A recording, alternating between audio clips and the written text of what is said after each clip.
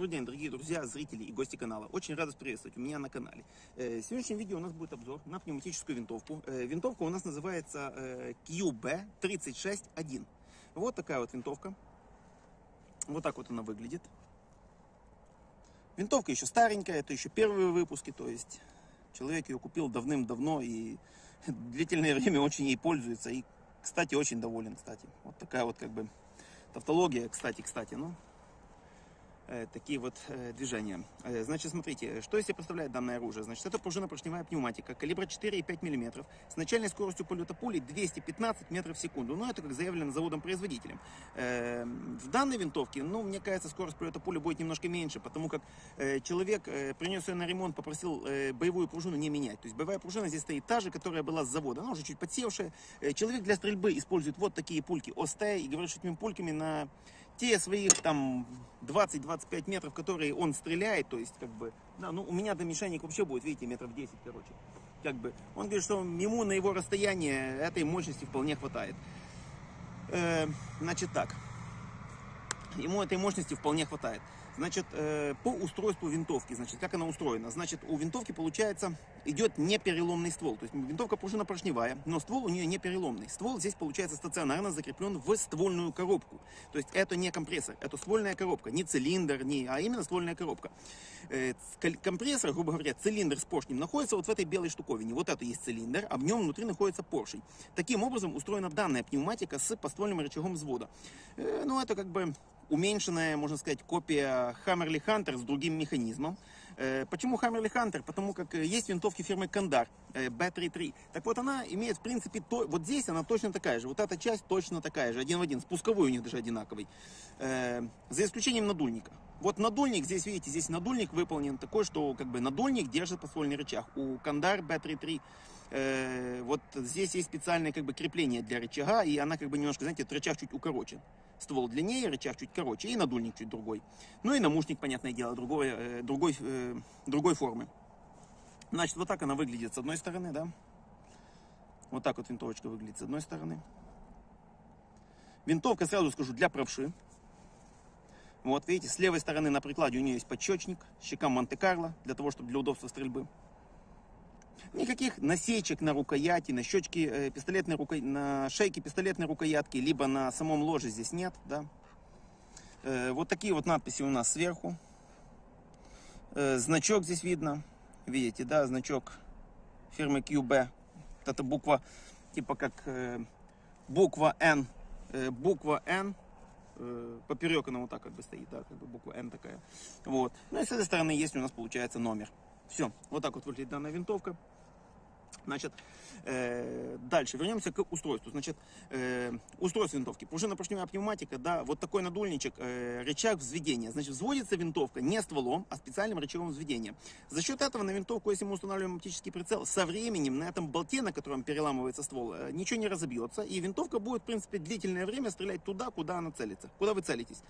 Ну, разве что у вас будут какие-то другие механические повреждения, вы этот ствол как-то, ствол как-то расшатаете, разобьете, либо еще что-то с ним сделаете. Ну, и винтовка перестанет стрелять, понятное дело, туда, куда вы ее пристреляли. А в целом, ну, либо у нее упадут ее характеристики. Э, Хозяин винтовки пользуется открытыми прицельными приспособлениями. Открытые прицельные приспособления, значит, мушка находится на надульнике. Вот такая вот мушка у нас. Она не имеет никаких э, светоотражающих фибронитий, там, светонакопительных фибронитий, то есть ничего такого нет. Обычная пластиковая мушка в, в железном надульнике. Обратите внимание, надульничек у нее железный. Это немаловажно, потому что э, при падении или еще каких-то движениях, понимаете, часто у вот этих э, пластиковых надульники, они часто ломаются, и потом приходится ее опиливать. Там я как бы не раз уже э, приходилось устранять такую проблему. Знаете, мушка осталась целая, разбила только надульник. Надульник очень некрасиво выглядит. И хозяин просит, говорит, слушай, просто легонько убери этот надульник, чтобы просто вообще не было. Чтобы просто голая мушка торчала, знаешь, как, как, как, как на карабинах. То есть, вот, ну, вот такая вот история. Вот. Здесь же надульник железный, и он довольно-таки хорошо предохраняет достаточно таки мощную мушку. Вот. Значит, спереди данный надульник выглядит вот таким вот образом. Видите, спереди, если смотреть чуть далека, оно как, знаете, как двухствольные карабины 7,62. У них тоже такие бывают надульники, они такие наплывы имеют здесь. Ну, вот так вот оно выглядит. Значит, э, для открытия рычага взведения у нас спереди на надульнике на этом предусмотрена кнопка. Вот, видите, кнопочка. Мы на эту кнопочку вот здесь, ближе от ствола, мы на эту кнопочку вот так нажимаем. Нажимая на эту кнопочку, мы освобождаем подствольный рычаг, видите? Все, ну я его пальцем поджал, да, а если мы будем, нажмем вот так, да, видите, он выпадает сам. Значит, э, для того, чтобы вернуть э, рычаг на место, не надо никаких усилий, ничего, просто легонько подвели рычаг кнопочки, и его туда щелк, защелкнули. Все, он легонько защелкивается. Ну, если здесь ничего не нажато, не поменены никакие пружины, все работает штатно. Здесь все работает штатно, как мы видим, да, и оно все становится на свое место без каких-либо усилий. Значит, как э, заряжается винтовка? Значит, заряжается на подствольным рычагом. Цилиндр, вот этот белый, вместе с поршнем уходит в крайнюю заднюю точку. Поршень становится на зацеп. И возвращая рычаг вперед, мы возвращаем э, цилиндр вместе с поршнем. Пользоваться данной винтовкой надо очень крайне аккуратно и не относиться к ней небрежно. То есть ее надо время от времени смазывать и чистить. Значит, э, раскручивать вот эти вот бока, э, болты, да, раскручивать болты вот эти вот, вот эти вот два болтика и болт сзади э, спусковой скобы.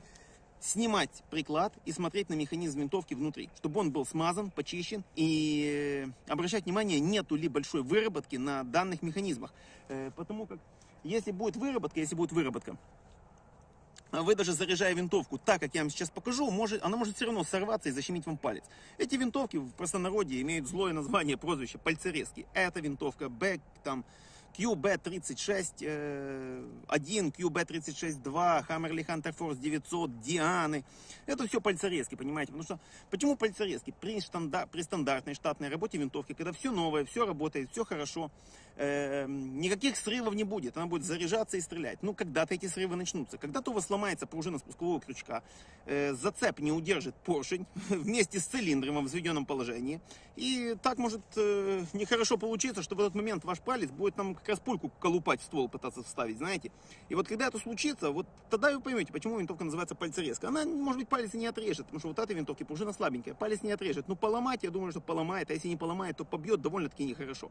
И потом вместе с этой винтовкой придется идти к врачу и объяснять, почему ваш палец оказался в винтовке и, и и врач может, знаете, с перепугу посмотреть и подумать, слушайте, а вызову-ка я на всякий случай полицию или милицию, ну, смотря в какой стране вы, конечно, живете там полицейских там или там карабинеров, ну, смотря где вы живете, да, допустим, скажут, вызову-ка я сюда на всякий случай полицию, пускай, и ты им объясни, почему у тебя палец оказался в винтовке, да, чтобы этого не происходило, просто аккуратно пользуйтесь винтовкой, и, в принципе, все будет хорошо.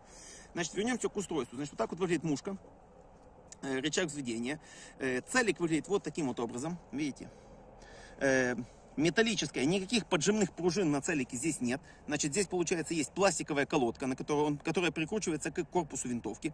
В нее вставляется пружинная пластинка, на которой, в, вернее, она впаяна в пластиковую, в пластиковую прицельную планку. Прицельная планка регулируется по высоте и по горизонтали. Значит, по высоте она регулируется вот этим болтом, вот этим вот барашком, этим круглым регулятором, регулятором этим. И подпружинивается она вверх за счет вот этой пластинки, ну, которая есть, в принципе, прицельной планкой. Эта пластиночка, она подпружинена, да, она с пружинного металла, и она подпружинивается вверх, когда мы откручиваем э, регулятор, э, регулировку эту. А когда закручиваем, она, понятное дело, садится назад. С правой стороны на винтовке у нас находится регулировка прицельной планки влево-вправо по горизонту. То есть, ее, то есть винтовку можно пристрелять под себя, если она с завода немножко не пристрелена. Зачастую бывает так, что винтовки с завода приходят кривые немного, немного кривые. Этой регулировки вполне хватает. Но если человек это не умеет делать, он обращается к мастеру. Если человек это умеет делать, короче, он регулирует винтовку самостоятельно. И как бы здесь университет не надо заканчивать, чтобы понять, куда она стреляет и на, настроить эту прицельную планку в нужное место. Вот такие вот движения. Э, так, дальше. Э, ствольная коробка у нас заканчивается пластиковым э, колпачком. Это колпачок, который закрывает все это дело. И железная часть винтовки помещена в деревянное ложе. Вот так вот выглядит ложе. Вот такое вот оно, видите. Рычаг у нас получается взведение поршня, взведение цилиндра этого, он переломного типа, потому э, дерево, видите, здесь пропил не очень длинный, дерево очень крепкое. И Наверное, потому эта винтовка служит так долго. Потому что более современные винтовки, э, Кандар, вот Кандар B33, у него этот пропил немного больше. У него пропил где-то вот до сюда, а бывает, что вот до сюда. Понимаете? То есть э, пропил намного больше, и получается, ну, деревянная часть винтовки как бы немного ослаблена. Да? Здесь же такого нет. Видите, это старый выпуск винтовки. Почему старый, я так думаю? Потому что еще сохранилась старая наклеечка. Сейчас уже этих наклеек, по-моему, не клеит, если я не ошибаюсь. Может и клеит, ну, я не помню. Э, помню, раз, распаковывали как-то на, на рынке винтовки такие, да, на них пришло 3 или 4 кюбашки эти, да, то у них, по-моему, этой наклейки не было. То есть она уже была чуть по-другому. И щека вроде на две стороны была сделана. Ну и еще бывает такая винтовка в пластиковом ложе. Ну, QB я не знаю, или бывает, а вот Кандар бывает еще в пластиковом. Называется LB, LB600 вроде она. Ну, как бы там есть предохранитель. Предохранители, да, кстати, э, по предохранителю. Э, предохранителя на винтовке не предусмотрено. Предохранитель предусмотрен только при взведении. То есть, когда мы открываем, когда мы вот, вот в таком положении, в таком положении, я еще спусковой крючок нажимаю. Но когда я начинаю двигать, все, как бы я чувствую по спусковому крючку. Вот здесь вот я чувствую, что есть нажатие. Я э, нажимаю, работаю шепталом. Нажимаю на спусковой крючок, я чувствую, как срабатывает немного шептала. Да? Пружинка срабатывает на шептале. Э, потому что у шептала и у спускового крючка пружина одна. А знаете что? Вот ну что ж, ребятки, вот разобранная винтовка, да, вот таким вот образом вот рычаг, да, вот так вот оно устроено все это дело, спусковой механизм, э, вот спусковой крючок, да, то есть вот мы положим винтовку вот так на бок, так вот на бок мы ее положим, вот так вот устроен спусковой механизм, видите, вот, одна пружина вот такая вот, видите, она двойная, она двойная имеет два уса, ну, не смотрите, что тут немножко ржавое, понятное дело, это запасная часть, то есть это не новый механизм, э, бэушный. А может быть и новый, я уже не помню, честно говоря. По-моему, бэушный. Вот на этом э, моменте, на спусковом крючке, она имеет люфт. Вот здесь она имеет пружинку. Какая-то запчасть подпружинена. Э, также и, и это подпружинено. То есть там внутри есть еще пружина. Видно вам, не видно. Короче, подпружинено этот. Этот низ, походу, подпружинен. Вот, видите, вот я вам покажу вот на самом, на этой винтовке. Видите, смотрите. Раз, видите как. Подпружинен сам, э, сам язычок, вот этот, который на палец. Это когда винтовка на предохранителе. Когда винтовка снята с предохранителя, то вы нажимаете этот язычок, да, вы нажимаете язычок и жмете дальше, она выстреливает. Значит, как она ставится на предохранитель? Значит, смотрите, вот э, по предохранителю сейчас вернемся, значит, вот так работает зацеп, да, то есть вот, вот это вот место, вот этот бугорок, он прячется, и потом становится вот так вот, ну, он сдвигается немножко назад, да, тут как бы есть свои нюансы, вот эти вот пружины нагружаются, и вот оно вот так вот встает одно, вот эта запчасть встает на вот эту запчасть. Когда мы нажимаем, нажимаем на спусковой крючок, получается,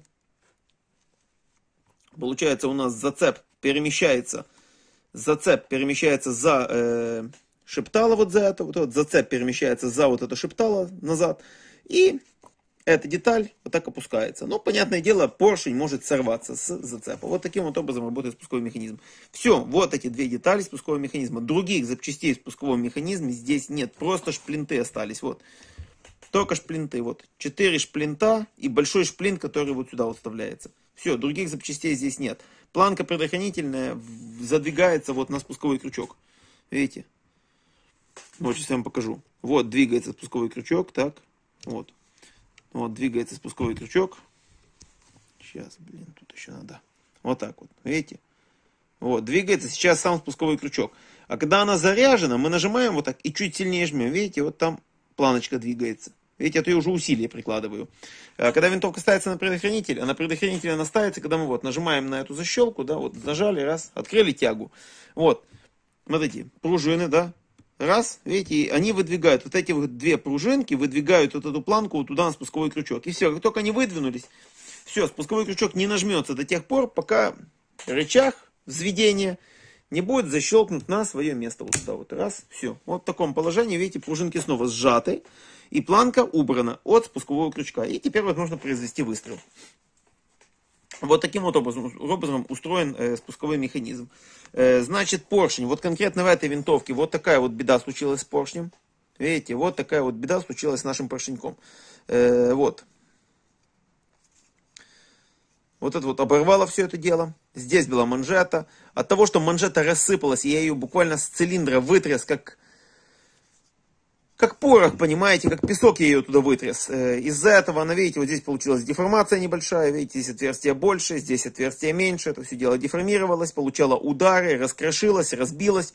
И поршень винтовки пришлось менять, пришлось ставить новый поршень в данную винтовку, потому как этот поршень уже к работе не пригоден. Его надо либо ремонтировать каким-то образом, э, точить запчасть, э, вставлять сюда эту голову. Ну, короче, буду как-то маяться, что-то придумывать, если получится сремонтировать хорошо. Если хозяин решит забрать его с собой, ну, прекрасно, заберет с собой, будет иметь себе на память э, поршень. Э, Все зависит от хозяина, как он скажет, так сделаем. Э, значит, э, вот таким вот образом, видите, он, этот поршень немного влез вот в эту вот, как бы, вот эта вот голова, на которой одевается манжета, она немного впихнулась сюда, видите, вот эту, вот в вот, как бы, ну, это труба, здесь тяжело сказать, что это труба, это с двух частей сделана такая вот, знаете, как бы, запчасть, она сварена, как бы, скручена, ну, вообще дешманская вещь, как бы, да, очень деш, дешевое производство, но тем не менее, достаточно рабочие, да, вот.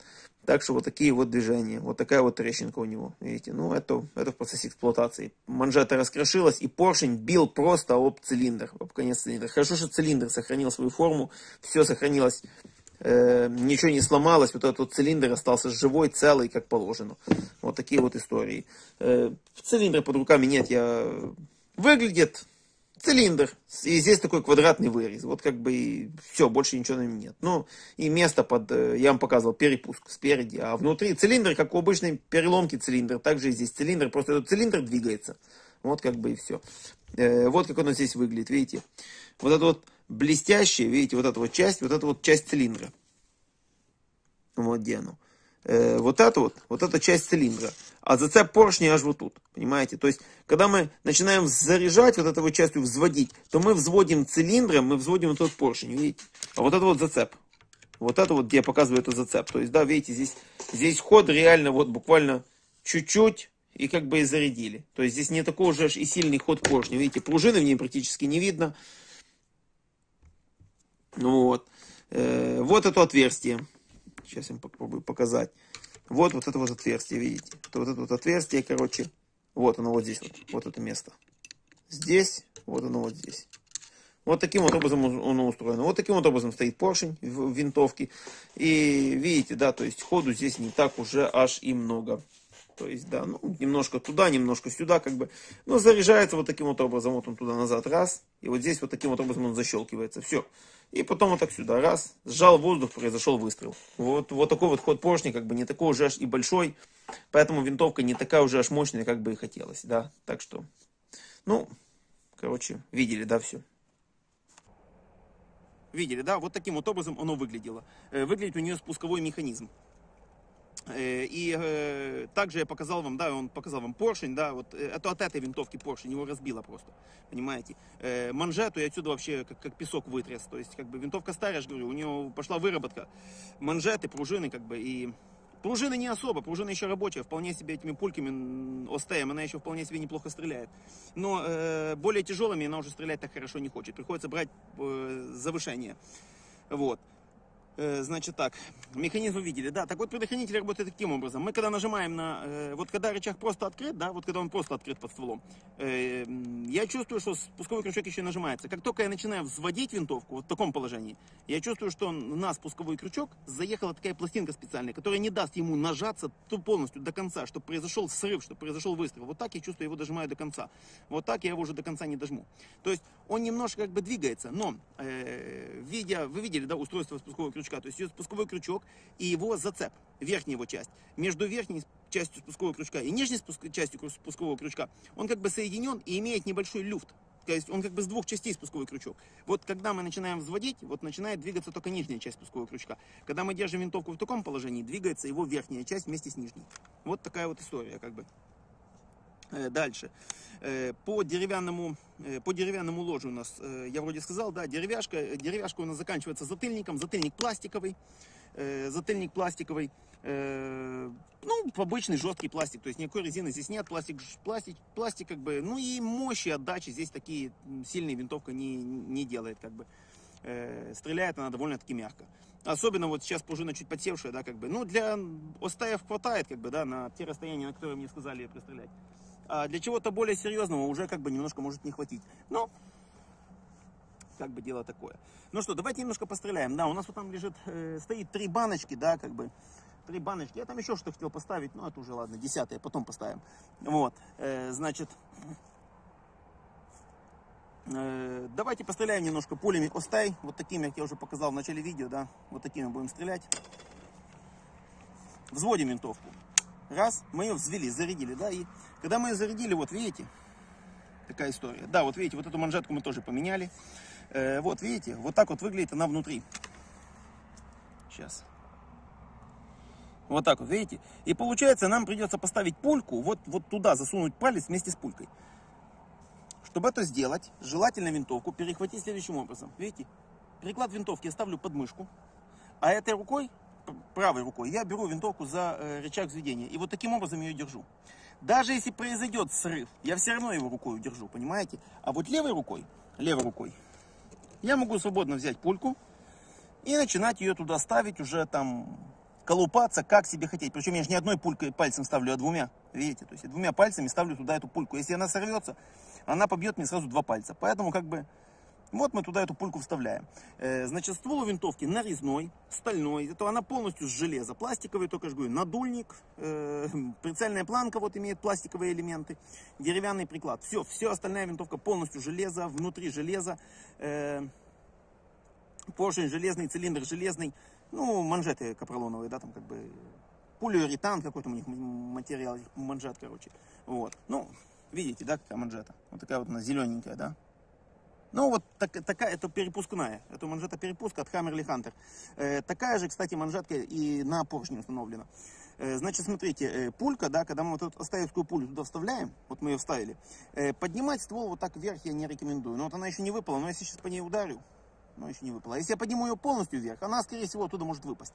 Да, как бы винтовка уже не новая, поэтому если у вас винтовка не новая, и вы чувствуете, что пулька заходит очень легко, то заряжать желательно винтовку вот э, таким вот образом, стволом вниз. Значит, смотрите, заряжаю я ее, я ее отпускаю полностью руку, да, и начинаю вот так вот от себя ее отталкивать. Даже если в этот момент что-то произойдет, даже если с спусковым механизмом была какая-то проблема, да, там поломан этот уз, который я вам показывал, она может захлопнуться. Ну, захлопнется она вот так сама. Ну, да и бог с ней, поломает пластиковый надульник, там, погнет, может быть, что-то там побьет. Но мои пальцы, мои руки останутся целые, понимаете? Если это захлопнется, когда моя рука будет вот между стволом и вот этой вот штуковиной, да, вы будете так потихоньку это вести, и она раз, срыв, где-то когда вы уже половину хода, половину хода этим рычагом сделали, поршень по рычагу ударит так, что, возможно, у вас с руки его и не вырвет. Но вместе с рукой может закрыться к стволу, вы побьете руку. Чтобы этого не происходило, надо аккуратно, получается, относиться к этому всему делу. Значит, давайте постреляем вот то по баночкам, да, несколько пулек. Я не буду стрелять много, уже как бы темнеет. Вот. Мы стреляем несколько выстрелов, как бы, и будем закругляться. Значит, давайте начнем с этой баночки, которая посередине.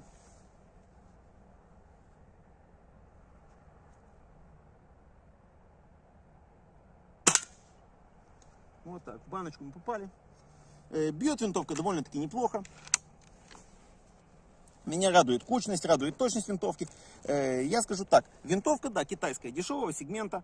Э, не есть что-то сверхъестественное, сверхдорогое, как бы. Но для того, чтобы пострелять, скажем так, там, научиться стрелять, вообще понять, нужна вам пневматика или не нужна, свободно можно потренироваться, как бы. И...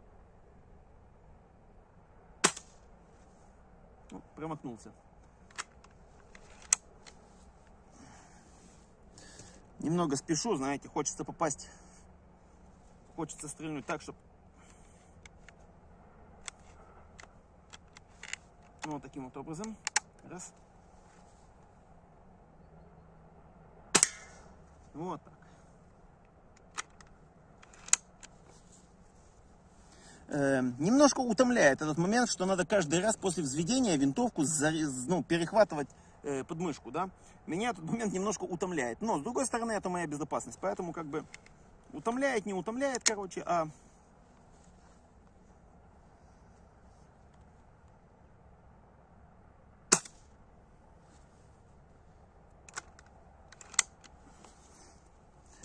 утомляет, не утомляет, короче, а пальцы, знаете, когда это переломка, когда ломается канал, открывается сам ствол, знаете, то как бы, ну, захлопнется ствол, захлопнется там, вероятно, что захлопнутся мои пальцы, ну, вообще минимальная, понимаете. А здесь все-таки вероятно, что захлопнутся мои пальцы вместе с винтовкой.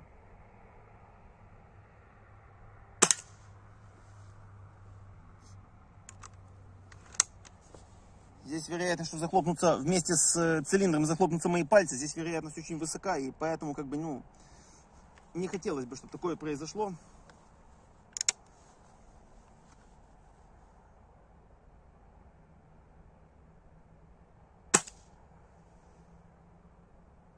Ну что, я за высоко беру или что, не могу понять, короче.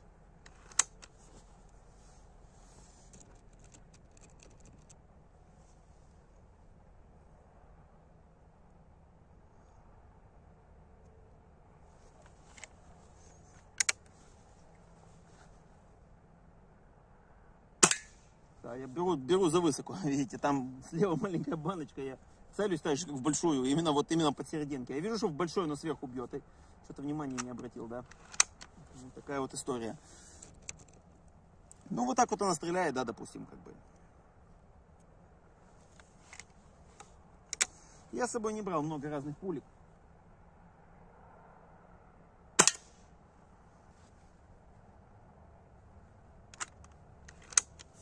Я с собой много разных пулек не брал, взял только эти остави. Ну, сказали, что будут стрелять, оставим. Но я взял оставить, то есть человека. Когда-то еще давно закупился им. И есть.